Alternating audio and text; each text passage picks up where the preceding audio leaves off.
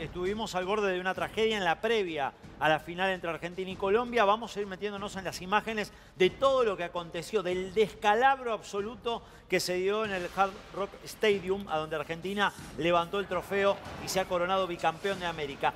Esto, decíamos más temprano, tiene que ser una señal de alerta extremo para el Mundial, porque allí se va a jugar la Copa del Mundo. Y fíjense cómo acá la policía después eh, repartía, como se dice, a diestra y siniestra. Pero la cuestión esencial, central, de los problemas que hubo en los accesos, tiene que ver con que no hubo ningún tipo de, em, de cerco previo a, llegar a la puerta de acceso al estadio. Desastre. Como habitualmente se hace aquí en el fútbol Iba argentino. Sin entrada yo y pasaba. Claro que, por ejemplo, eh, en un superclásico, incluso en un partido de selección o ante cualquier partido determinante del fútbol argentino, hablamos de hasta tres anillos de seguridad previos. Van lo que filtrando. es, es cierto, puede ser a veces engorroso o hay situaciones en las que no está bien manejado, pero el espíritu de esos cercos previos, de esos anillos perimetrales, Es evitar tiene que ver con evitar que no pase el que no tiene entrada. Al no haber ningún anillo previo, llegaban a la mismísima puerta del estadio donde estaba el molinete cientos y miles de personas que no tenían entrada. Y fíjense también cómo flaqueó la seguridad en que había puntos del estadio que eran puntos ciegos para los controles, a donde hubo hinchas que saltaron en esta reja y se, met- se metieron.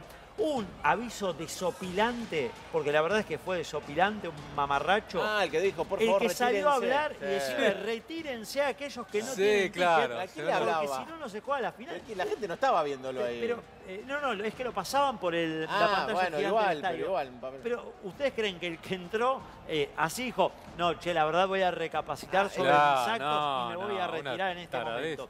El estadio, se jugó, se jugó la final con el estadio a rebalsar, con eh, las escaleras totalmente Mucha gente colada. explotadas. La escalera mecánica eh, abarrotada de gente. Mira, Que eh, creo, Mati, que- perdón, que Sí. de las soluciones fue, me parece que la mejor, dejar pasar a todo el mundo, porque si no, ahí afuera hubiera sido un desastre. la mejor entre comillas, Porque Mauri, no estaban también, capacitados para hacer un operativo porque así. vos adentro no terminabas de saber hasta No, cuál iba a ser el límite. Estamos de acuerdo con eso. Eh, pero claro, o, o la realidad es que era para suspender y decir, bueno, todos afuera y no se juega. Claro. Lo que también pudo haber derivado en, en un escándalo adentro.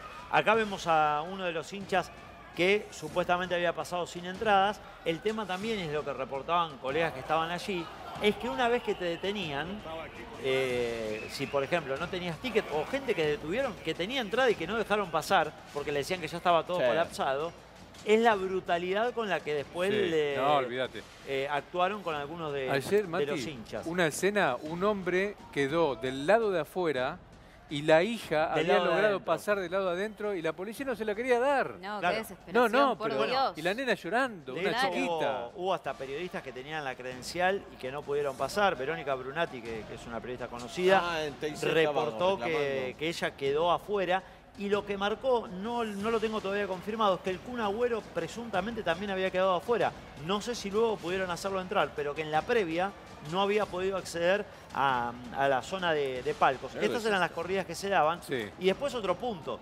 Una vez que comienza el, el desmadre por gente que entró sin entrada, deciden cerrar las puertas y dejar durante, en algunos casos, más de tres horas a personas que tenían el ticket, gente mayor, gente con chicos que tenían la Con el entrada, calor que hacía. aplastada contra la puerta de acceso porque estaba cerrada la reja, lo que cómodamente pudo haber terminado en una tragedia Sí. eh, por una estampida, por asfixia, mucha gente que tuvo que ser asistida porque perdió el conocimiento producto del calor. Estábamos hablando en el momento de la previa del partido entre 30 y 35 grados las temperaturas.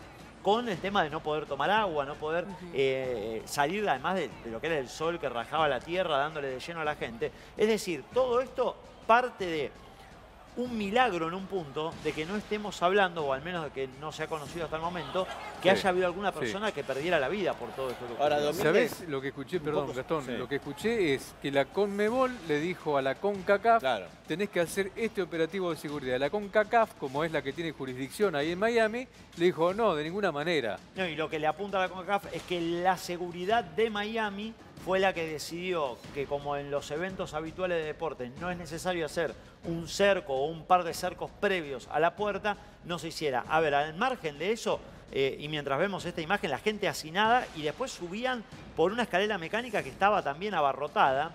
eh, La cuestión es que entre medio de que todo esto ocurría, el presidente de la Conmebol, el presidente de la Conmebol, Alejandro Domínguez, estaba tirando peluches con Sebastián Sí, Yatra y la Sole terrible. a la gente que estaba en las tribunas. Y los dirigentes no son tontos, saben, le llegaban estas imágenes No de lo que acontecía afuera. Entonces, no, no, no estés tirando peluches a la tribuna, a una tribuna al 30-20%, No, porque decía- estaba pasando todo esto, que era una matanza afuera. Como decía Mauri, se lavaba las manos diciendo que, que ellos, por digamos nosotros... Habían sugerido eh, otra cosa. Claro, no, sugerimos y, y practicamos de esta manera la, la Libertadores Sudamericana, estos anillos que vos decías, ¿no? O sea, entonces, bueno, nosotros sugerimos hacer esto, no lo hicieron en Bromense, como Sí. hasta no importándole y con esa imagen de los peluchitos, terrible, ¿no?